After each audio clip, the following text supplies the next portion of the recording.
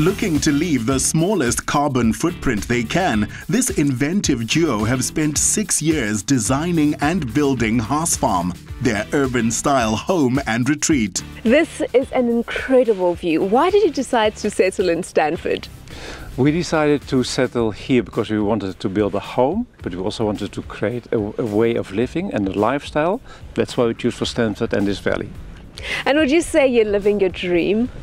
Look, this is this is us. This is our property and our house and our lifestyle that we also gladly share with other people, our friends, family.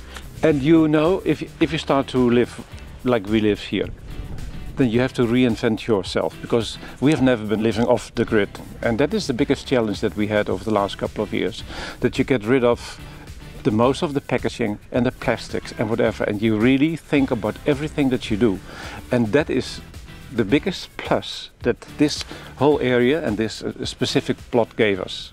Harry started a design company in Amsterdam, which grew into an agency merging graphic and product design with architecture and interiors. It shows. Okay, first welcome into the guest part of our farm.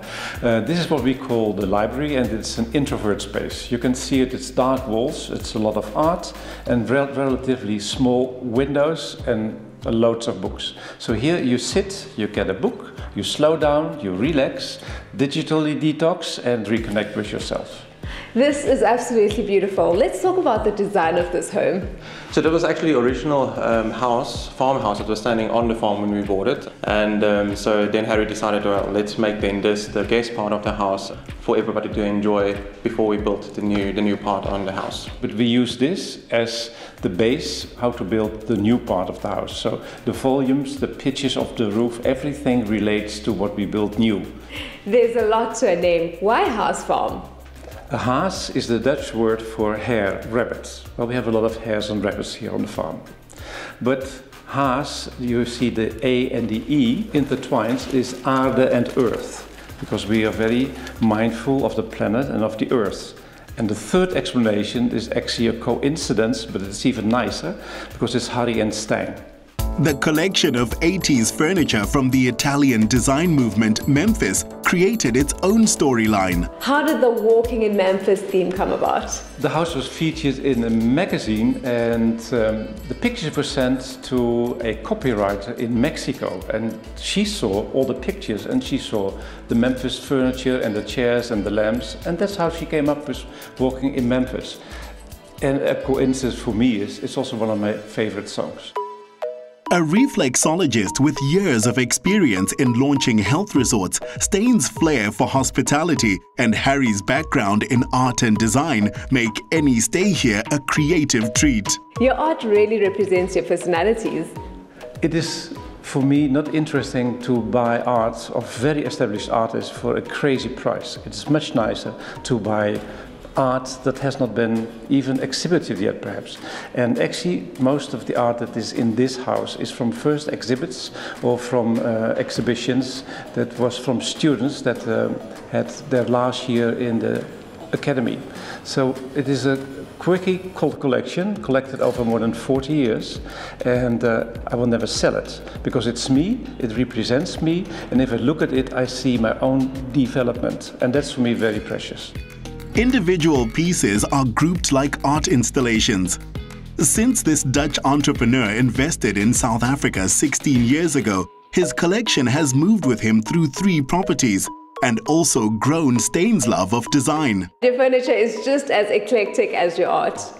And in particular, I love and adore the red couch at the back of me, the Jasmine Morrison, because the positioning it is, where you can sit in the mornings with your coffee or in the afternoon with a beautiful glass of champagne and um, just um, enjoying life. This is a place to switch off your phone and connect with nature, art, and the people around you. It is not for nothing that we stand here around this table, because at this table we have chairs, all from a different era. Some, some from 1954, otherwise from 1978, and the others from 2008. So it's 50 years, 60 years of design around this table.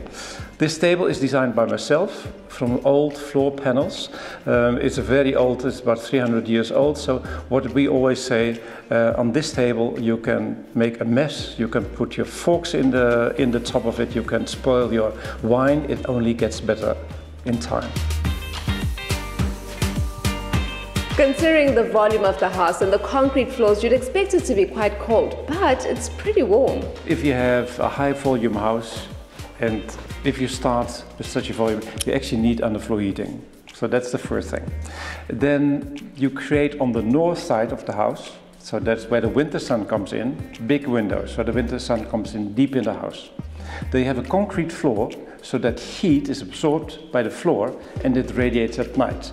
So that's already a couple of things that you can do. It's just thinking that really saves you a lot of energy.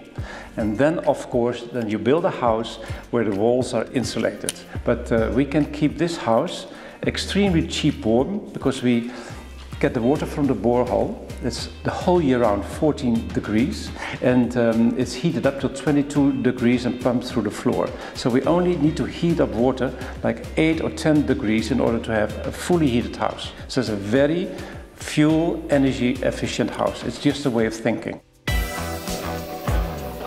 Treading ever more lightly on the earth is a waking, sleeping quest for this couple, and always done in style. This is a very tranquil space. This is actually the main bedroom of the house. It's completely filled up with light. Hence, in the morning at 5 o'clock in summer, you are being woken up by the sun right there. And um, so, no late sleeping in for us in summer. So, we sleep and we live with the rhythm of nature. We have only three bedrooms one for ourselves and two for the guests. And the design approach was in this part of the house. If you can see, it is a complete white structure based on steel. And within the high-tech building, we wanted to build a cubicle, which you see behind us, and that is built totally from recycled material.